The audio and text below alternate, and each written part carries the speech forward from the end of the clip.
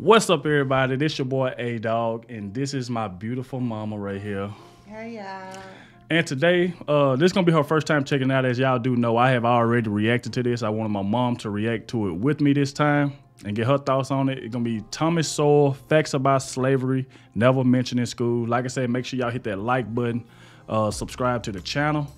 Without further ado, let's go ahead and dive straight into this. The- This excerpt is taken from the book Black Rednecks and White Liberals Untold Facts About Slavery. The instrumental use of the history of slavery today also underlies the claim that slavery grew out of racism. For most of its long history, which includes most of the history of the human race, slavery was largely not the enslavement of racially different people, for the simple reason that only in recent centuries has either the technology or the wealth existed to go to another continent to get slaves and transport them en masse across an ocean. People were enslaved because they were vulnerable, not because of how they looked. The peoples of the Balkans Wow. were enslaved by fellow Europeans, as well as by the peoples of the Middle East, for at least six centuries before the first African was brought to the Western Hemisphere. Before the modern era, by and large, Europeans enslaved other Europeans, Asians enslaved other Asians, Africans enslaved other Africans, and the indigenous peoples See, of the I didn't know that. I didn't. I, I didn't know that. So it said Asians enslaved other Asians and Europeans enslaved other Europeans. Did you know that? No, I didn't know that. I didn't. I did not that. know. I thought it was just all black. I did too. You I- know, slaves was blacks. I didn't know it was Asians or Europeans. I didn't know like they enslaved their own. I I did not know that. Me either. the Western Hemisphere enslaved other indigenous peoples of the Western Hemisphere. Slavery was not based on race, much less on theories about race. Only relatively late in history did enslavement across racial lines occur on such a scale as to promote an ideology of racism that outlasted the institution of slavery itself. Wherever a separate people were enslaved, they were disdained or despised, whether they were different by country, religion, caste, race, or tribe. In East Africa, the Maasai were feared slave raiders, and other African tribes, either alone or in conjunction with Arabs, enslaved their more vulnerable neighbors. As late as see, man. 1891, it was reported that Manyuema slavers had demoralized surrounding tribes, destroying crops, and famine reigned everywhere. Even in the early 20th century, Abyssinians were still raiding other Africans and carrying off slaves. It was 1922 before the British had gained sufficient control in Tanganyika to stamp out slavery there. Oh.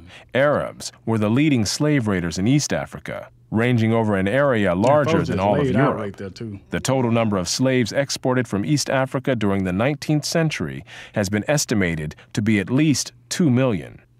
Ooh. The form in which the story of slavery has reached most people today has been along the lines of the best selling book and widely watched television miniseries Roots by Alex Haley. That? Challenged on the historical accuracy of Roots, Haley said, I tried to give my people a myth to live by.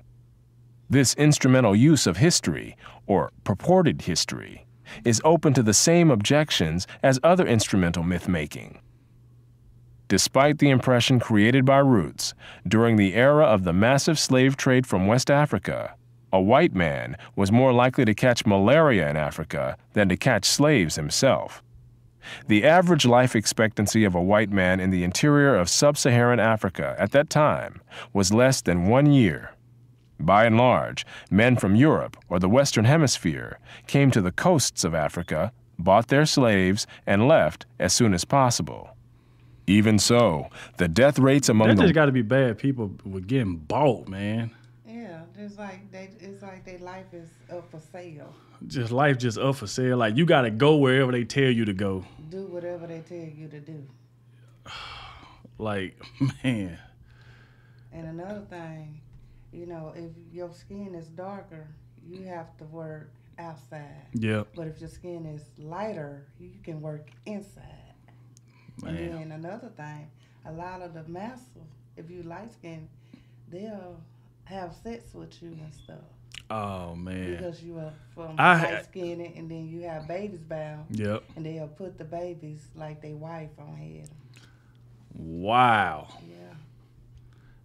I mean, not having no control of your life, being told what to do, when to take a bath, when to. And then if you don't do it, then they whip you with whips. You have marks out on your back Oh my God. and legs and chest and everything. White crews of the ships carrying slaves to the Western Hemisphere were as high as the death rates among the slaves themselves.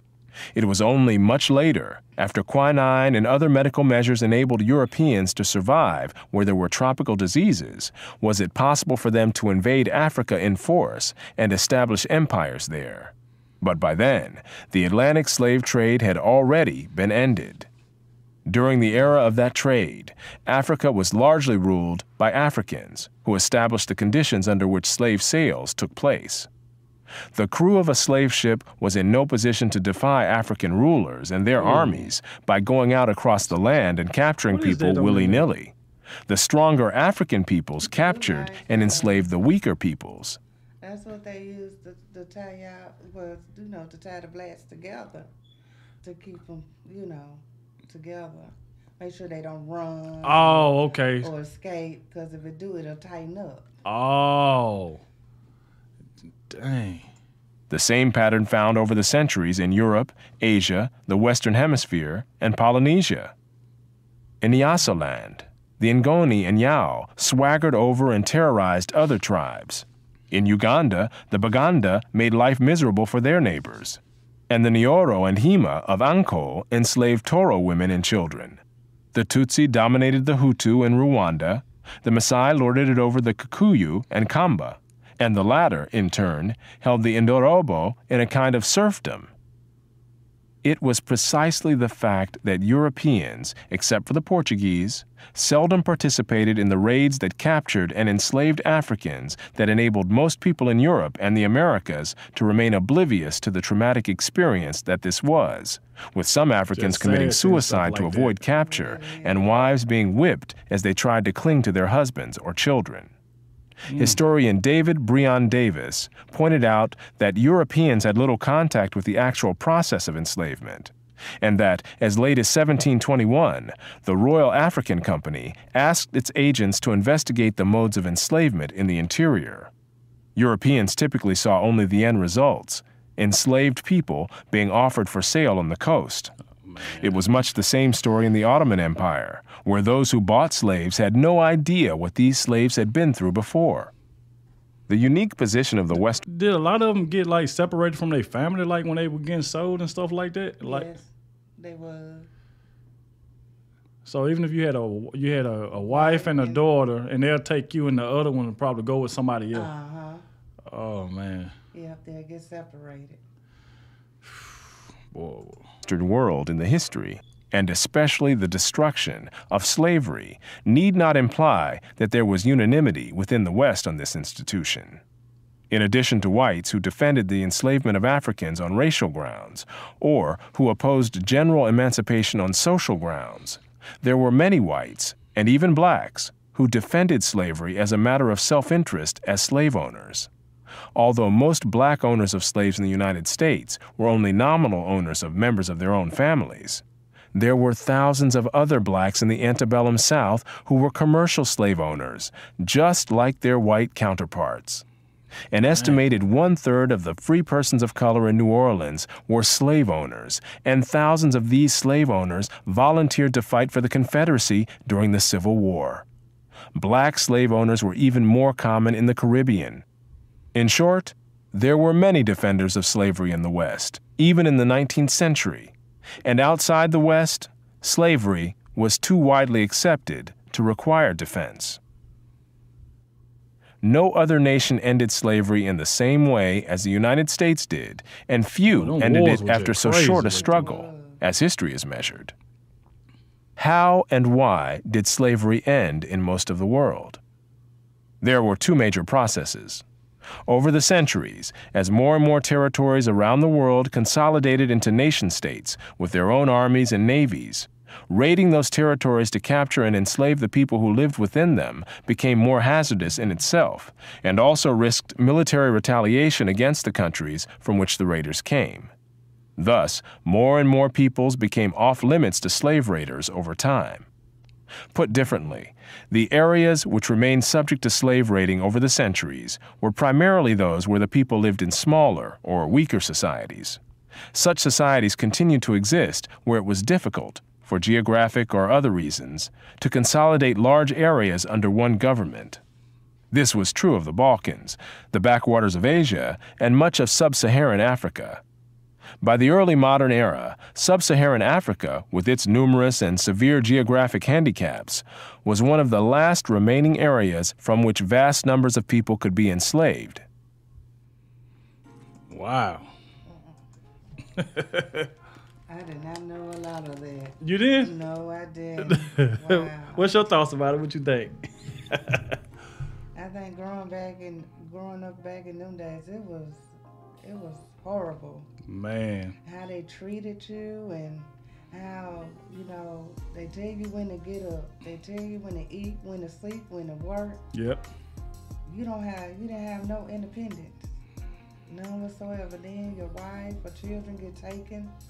and Then nine out of ten, you ain't gonna see them no more. That's what I was saying. Like if, if this person buy them, and then this person buy buy the wife, and this person buy your husband and the child, like it, it, that is just And then another devastating. Whoever, if, if y'all, you know, you and your husband, your children, and then a lot of them will rape your wife in front of you. You can't do nothing. Couldn't do nothing about it. Can't do nothing about it. Then if the uh, the wife have a child and the child turn out to look like it's white, Mhm. then it'll go. Then the uh, the master will keep him Wow. and, and pass off as his wife. Yeah. Had the baby. Whew. I was just like you when I first watched. I was like, man, there's a lot of stuff I didn't know. Crazy back in the day. Was. And I'm glad it's not like that now. Yeah. But it's still, you still have people treating us like, you know, we ain't, we ain't human. Yeah. Because you can go to a store anywhere and, and speak to somebody that's white. Yeah. They won't even acknowledge you. Want to acknowledge you. And like I said, you got some that are that are nice, and you like you said, you might have some that you know Still prejudice. still prejudice. You know, they just where we live in. It, you know, like they say, everybody ain't perfect, So right. but you know, it is what it is. But me, I look at people for people, not for their skin color. Yep. Nothing else. And that's the way I do it, though. Not for their skin color. If you treat me right, you treat me with respect. I'm gonna treat you right and treat you with respect, regardless of your skin color. That's right. And a lot of people, you know, they still going back how their parents taught them too, Yeah. because they had to learn it from somewhere. Yep. So they were brought up like that. So evidently, when they get older, that's how their mentality is. This is what I learned as a child. So this is what I know what to, how to treat people. There you go. Certain people. See, that's why I'm glad I brought my mom off. but uh, y'all, we have made it to the end of the video. And uh, we want to thank you all for watching. Like I said, make sure y'all hit that like button. Make sure you uh, subscribe to the channel. And hopefully I can get my mama back on for some more videos. Yes, you will. And it's a pleasure being here. And thank y'all for watching. all right. we- Until next time. Thank you, mom. You're welcome.